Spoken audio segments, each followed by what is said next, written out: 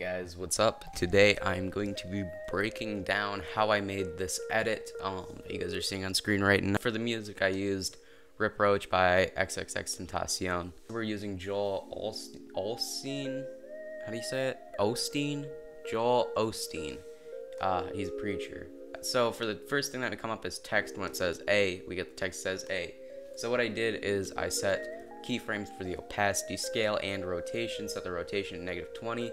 When it jumps up like that, it goes, it spins up and spins back down. So if you look at that in the value graph for the opacity, made an arch, but I did not put a keyframe in the middle, and that just makes it flow a lot better.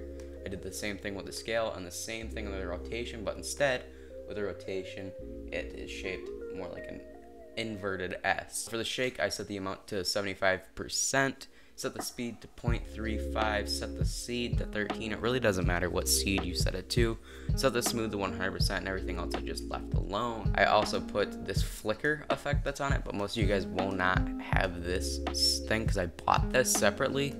Um, so you guys are gonna have to find like a flicker overlay. I'll try and find one and link it in the description. Effects, we have the tile, which is right here, and then the shake. So for the shake, I set the amount to as high as I can go, set the speed to 1.5%, and then I just went in the transform tab and adjusted the scale.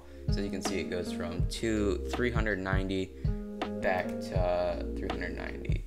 So it goes, hey, boom, boom. The thing about trap edits is that they just have to be super fast and there has to be a lot of transitions. If there isn't a lot of transitions, what are you doing? It just does a hyper zoom these hyper zooms, they're all really basic to do.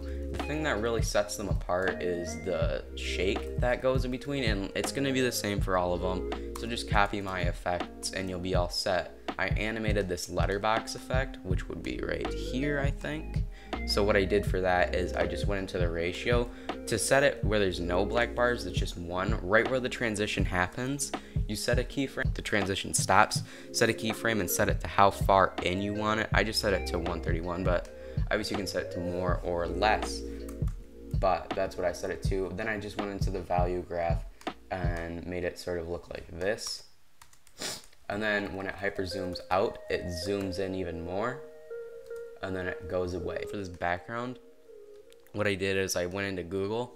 Actually, I'll show you. So um, I'm looking at dogs right now. You go to your tools, set the color to transparent, and you can find a bunch of images with transparent backgrounds. I'll put a link in the description so you guys can download both of those things and add it to your footage. But other than that, it's just the same as a normal edit. It's very similar to any other edit, just super fast and snappy. Thank you guys for watching this video. If you guys found it helpful, drop a like on it. If you guys didn't, drop a dislike on it. Subscribe if you guys are new, and I'll see you guys in the next one.